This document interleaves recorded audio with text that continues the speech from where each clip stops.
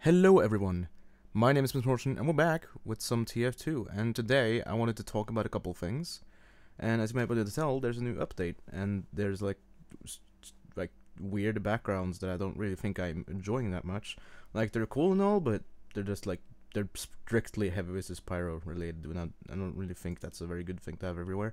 As you might be able to tell this is very different. We have you know this is also a bit, bit difficult different. There's some new stuff in here I think there might be a kick thing down here too now.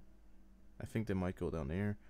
Some other stuff's been moving around. Of course, this was this was here before. I don't even know if what I said about this is true. By the way, this was down here. Now there's a meet your match update specifically like thing for all the update stuff, as opposed to going in here and be like, hey, no, not that one, this one, and be like, hey, and look for the information there. It actually has this own button, which I guess is cool, but nah, not really too hyped about it. Uh, there's a new ticket you of course I have the old beta pass and two beta invites, but I don't have the actual matchmaking pass, which you have to buy for like ten dollars, which is quite a lot, and that's on sale. That's fifty percent off. It's actually twenty dollars. That's a lot for a freaking matchmaking pass, don't you think? Especially considering it was uh, exclusive before, and you would get it from invites. It's kind of silly if you ask me. Um, there's a couple other things like, uh, let me see. Oh, there you go un unlocked cosmetic crates. So all of these are unlocked, you just have to open them. And you don't need keys for them, and you have specific class-specific cosmetics you can find, which is, I guess it's cool, but I think I don't know if I would buy one. Like if if I had had this option before, I wouldn't have to like go through a, a, another source to buy myself a Killer Kabuto. But hey, there's something gonna. Is there an all class too? Is there not an all class?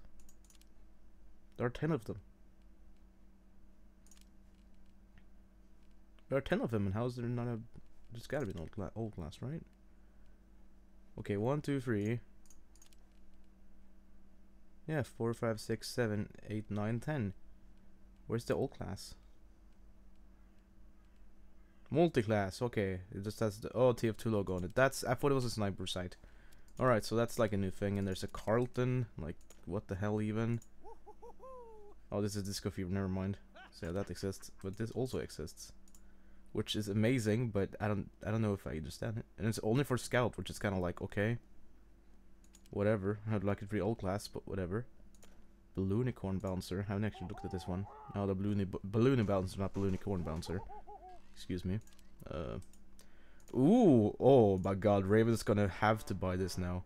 There's no way he's not buying this.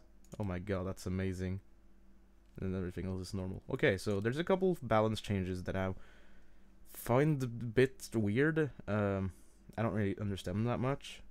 They're kind of strange.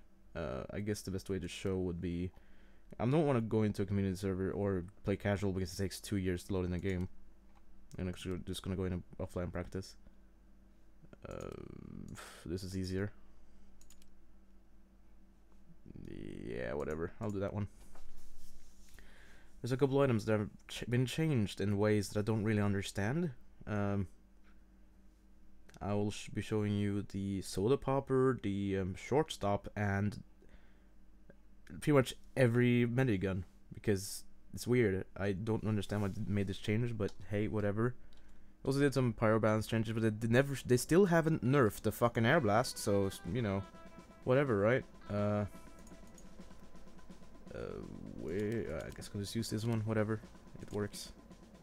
Short stop, there it is. There we go. Y you can push people now. I didn't understand this change. It's, it's kind of weird. Uh, but hey, I guess if you're really good at that stuff, you can like push people out of the way and shoot them now, which is it's pretty cool and it has a pretty cool animation. But like, I don't see the point of it. The gun itself is still the same, just has that changed, and then there's another thing that's changed, which I also find kind of strange. This doesn't charge by just walking around anymore. You have to shoot people to get it charged. Granted, that makes it so it's more skill-based to use this gun than it was before, and it's supposed to just run around behind people and be like, okay, I'll charge this up and jump around. Now you actually have to do something for it, which is, you know, don't mind it. I said, I guess like actually I haven't even checked checked these guns before now. I'm gonna do that now. Uh, I am gonna get annihilated if I get close to that. Okay, I'm gonna get our medic. Holy shit, do you see all those fucking... Jesus. I guess I'll help myself by doing this. They don't even notice me at all. Bots though. So that, yeah, it goes up by height now, and I get killed, so whatever. Now, the thing that I find kind of controversial uh, is this change. So, we have the, we have the quick, fix, right? Yeah, the quick fix. Now, the thing that I don't understand about this change at all is that now they pretty much made this weapon useless. And like, could you not get... Okay, there you go. Uh, and now, as opposed to only this gun doing this specific thing, which is... Oh god, Pyro is smart. Uh, which is that, you know, you'll be able to run at people the speed of the people, I mean, of your teammates when you heal them. Now every single medigun does that. And like, what is the point of that? I don't understand. Like, why would you do that? I don't even know if there, I don't even remember what the quick fix does. I think it just heals you more when you pop. But now, let's, actually, let's see. I'm gonna get this scout and see if it works on this gun still. I don't remember. Okay, it still works on this gun. So that's good to check. Now let's get the, the default mini, um, minigun, medigun, and see what happens then, and then be disappointed because this change makes no fucking sense. So let's look at the positives of this. Heal rate and overcharge rate and then min um, less max overheal. And there's no, there's not really any overcharge because it just increases healing when you charge it. And then we have the normal medigun. Um, I guess I can use, nah, I'm not gonna use the skinned one. Which, um, of course, this is the same thing as always. But now, with the addition of the fact that every single freaking thing in the game does this now, apparently, so that's cool. Um, now you're now you're equally fast with everything else as you're just using the normal medigun, which is I don't understand it. I simply don't understand it. This is almost as this is almost as bad as the Phlog change, and they've made the Phlog even more powerful. They just made every gun have the same ability. But I guess maybe the quick fix still does that. Or is that the vaccinator? It might be the vaccinator. That where you can uh, get your like your medic to follow you. I think that's quick fix though, where you make you when you like you rocket jump and your medic follows you, because that's how that works. I think that's still only that gun. That's that's still a reason to use the quick fix. But there's just less of a reason to it. And I just I don't understand the change at all. It's kind of strange. And like this is pretty much all that I found weird about it, but like ah, I don't I don't like it. I don't like this direction and I also don't like this direction. Casual doesn't fuck it takes you two years to get into a fucking lobby. If it took like normal time, there wouldn't be a problem, but it's it's, it's a problem the man man versus machine here. Man versus machine is here, like always, but competitive. I already ticked that, please.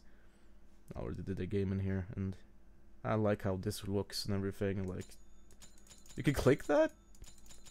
Wow, you're learning things here on my channel apparently. And then we have community servers, which are just in here, which is pretty much the only way I can play a pub right now because this is all.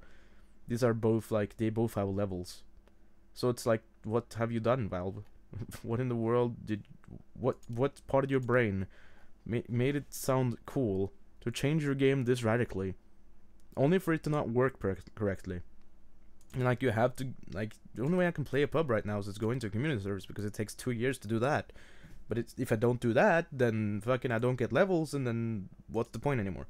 It's just I don't understand it.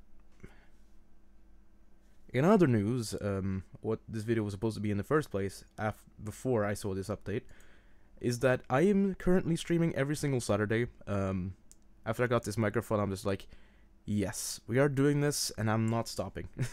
and it's been six weeks in a row now that I've that I've done a Saturday live stream, and it's been awesome.